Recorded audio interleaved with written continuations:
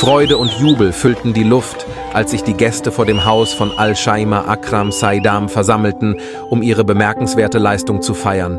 Sie hat ihren Schulabschluss mit einem Ergebnis von 99,6 Prozent absolviert und ist damit die beste Schülerin in Gaza bei der diesjährigen Sekundarschulprüfung. Sie sprach leidenschaftlich über ihre Träume und Bestrebungen in lokalen Medien.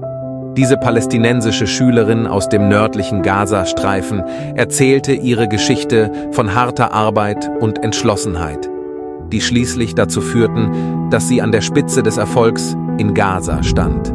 Sie trug eine palästinensische Schafia um ihren Hals, ein Symbol für ihren unerschütterlichen Stolz auf ihr Erbe.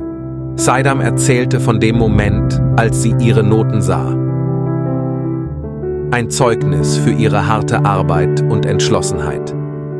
أنا الطالبة الشيماء أكرم محمد صيدام حصلت على معدل 99.6 من مدرسة ممدوح صيدام الثانوية للبنات المركز الأول على Aber das Schicksal hatte eine abrupte und tragische Wendung.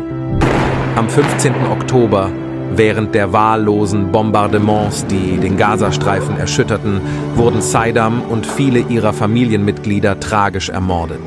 Sie verloren ihr Leben durch israelische Luftangriffe auf das Flüchtlingslager Al-Nusayrat, ein Ort, an dem sie während der anhaltenden israelischen Bombardierung von Gaza Zuflucht gesucht hatten. Die Folgen der Bombardierung zeigen sich in einem düsteren Bild mit zerstörten Gebäuden und den leblosen Körpern von Unschuldigen.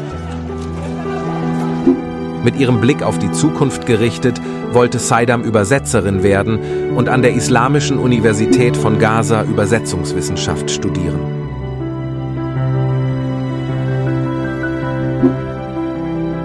Die Träume, die einst so hell leuchteten, wurden ausgelöscht. Träume, die einst so hell leuchteten, wurden ausgelöscht.